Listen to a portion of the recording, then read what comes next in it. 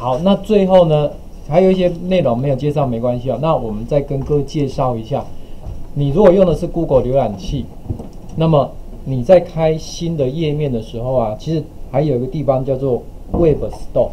我把画面先切过来一下哈，来，在这里，您看它的下面这里有没有？这里是最常造访的，对不对？在这边还有没有叫 Web Store？这个跟我们那个手机的应用程式是一样的，就是所谓 A P P。但是你也可以在 Google 里面用，哦，也可以在 Google 里面用哈。那你可以利用这个方式呢，也就是说，你看我点到这边，有没有像微软 Windows 八那叫动态砖？对不对？跟它是一样的概念啊。你可以把你比较常用的程式，好，应用程式就可以加在这里面，好，加在这里面来用哈。那像你如果哎这样去找不够，没有关系，你也可以从这边去找，它里面有很多热门的，当然游戏是很多啦，跟我们一般那个 A P P 都一样哈，就是很多游戏啦。但是我一般比较常找都是属于工具类的。那你进来如果是英文的，你来这边把它设定一下。把它变中文的，啊，这个语言你可以改变一下。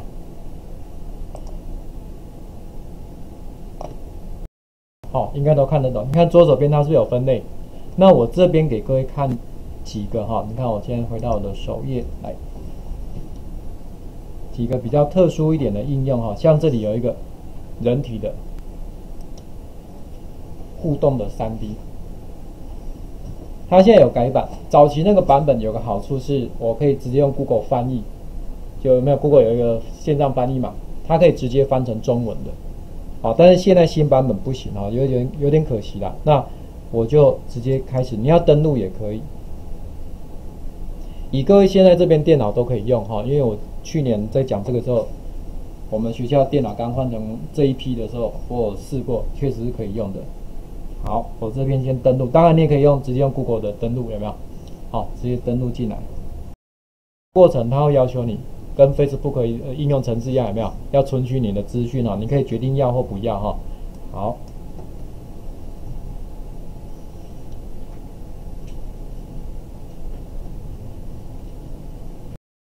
我这边现在已经登录进来哈，您这但它还在下载中哈，那没有关系，我们先看一下。在我们这里还有一个部分是没有讲的，就是在最后面有没有？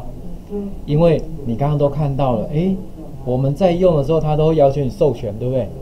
所以不管你是 Facebook 也好，Gmail 那些账号也好，我们会建议各位启用所有两阶段验证。什么叫两阶段验证？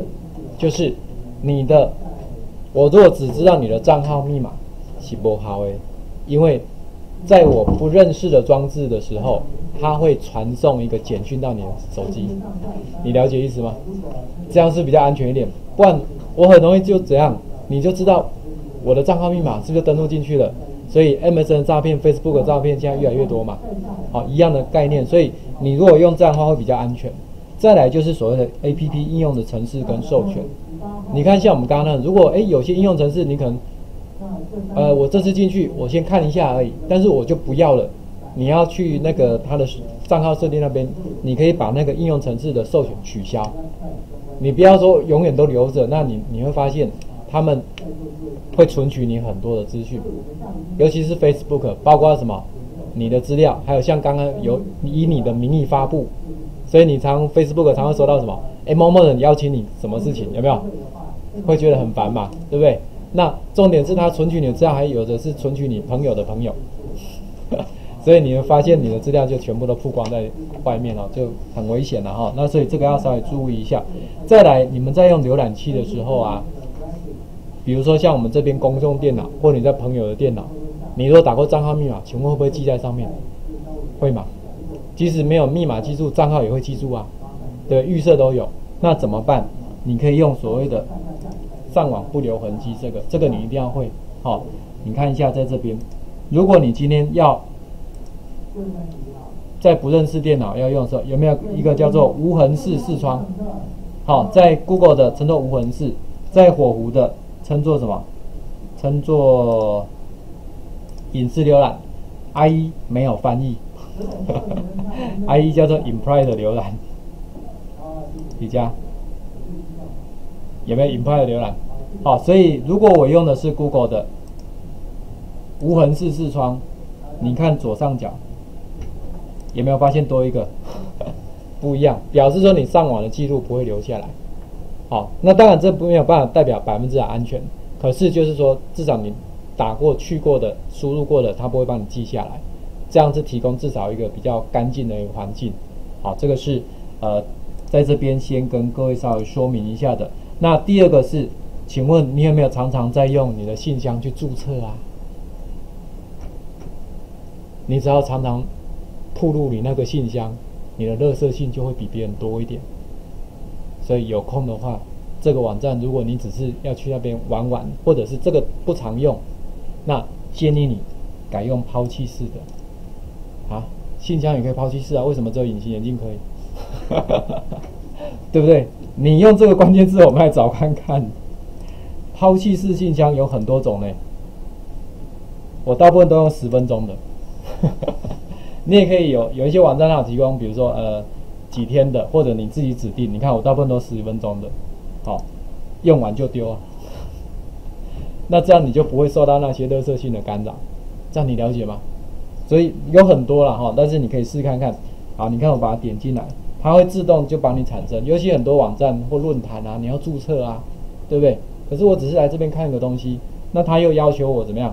一定要把 email 打进去之后，然后会寄个验证码给你，对不对？没有关系，你看有没有产这个密码了？啊，不是产这个 email，那你就停留在这个画面。如果他有收到信，就会在下面出现，但是十分钟之后自动销毁，他就找不到这个人了。这样了解哈？哎，所以这个你可以参考一下，这样可以减少就是各位的那个收到垃圾信的机会。好，那再来的话呢，这里有一个。虽然是老生常谈了，但是密码复杂度以外，请你记得还是要定期更新。像一般现在网络银行，我不知道各位有没有办那个网络银行的账号，像我有办的话，很多他们现在都要求一年要换一次，一年就要换一次密码，这样可以比较安全，好，可以比较安全哈。那我不知道平常各位你的密码，你看有个调查夹呢，刚完可以来录。其实这里面最重要是你要去看一下，为什么有些密码比较容易猜？因为他们常常用的是什么？常常用的是比较简单的。所以比较简单，就是说你可能用什么一二三四，对不对？这也很常见嘛。啊，不然就用什么 Q W E R T Y A S D F D，有没有键盘上是不是连续的？对不对？所以你看看哈，有一些比较常见的，你就尽量不要去犯那那些错误了哈。所以哎，好，这里等一下，这边还有哈，你看，不要这样 一二三四一二三四五，这里有公开一下，你可以参考看看啦。尽量用密码，最好是有包括什么英文的大小写、数字，再加上特殊符号，这样会比较不容易被拆。所以你看，我们现在那个提款卡换成晶片卡之后，密码是从以前的磁条的四码嘛，是提升到六码，至少要六码以上才会相对比较安全。四码的组合比较容易。你看，密码都是一二三四五六七，一二三四五六七八，有没有？这是排名比较前面的哦。还有什么比较容易记的单字啊？对不对？哎，另外呢，你看看最烂的密码排名二十五名。直接写 password，也有这种人有没有？你看这个 A B C 一二三也有啊，因为是不是都连续的？然后你个 Q W E R T Y 这就连续的嘛。好，所以真的不要让他这些名字再出现在上面啊，就太简单的就容易被猜嘛。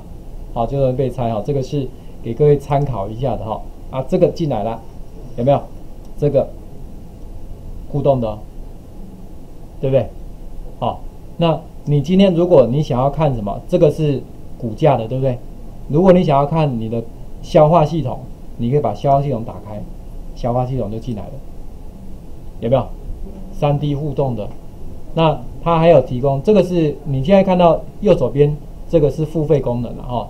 你如果有付费的，哎，我还可以直接盯到这边，所以以后医生开那个处方有没有诊断，直接钉子插上去就好。好，这里胸骨柄有问题，肺部有你就插在这边，哎，这个是一个很好的方式，就是我们在了解的所谓的骨架有没有？你如果想要看那个呼吸系统，我就把这个打开，呼吸系统就进来了。你看这个胃有没有？哎，我就可以找看看，因为如果你是学医学的，你要老是要看解剖学不太容易嘛，而且现场看也血淋淋的，好，所以你可以像这样，那也可以看 X 光的，也可以看什么独立的，所以蛮好用的，哎，蛮好用的一个这个免费的我就可以看到。那它这边还有一些情况，什么情况？就是说。哎，如果哎消化性溃疡啊，还是什么？哎，是哪几个有问题？它会把相关的疾病把它列出来。好，只是现在有点可惜，不能翻成中文啊。就 Google 翻译没办法直接帮你翻了。哎，现在这个版本，所以像这个，你看 liver，这就干嘛，对不对？哎，你还可以发音。哦，他会告诉你说，哎，这是什么东西？这样，这样大概了解了哈。所以在那个 Google 的 Play 上面，就是有这些。有一些比较特殊的，蛮好玩。当然也有一些题，就是跟实用工具类的，好，所以有兴趣你可以玩看看，好不好？OK。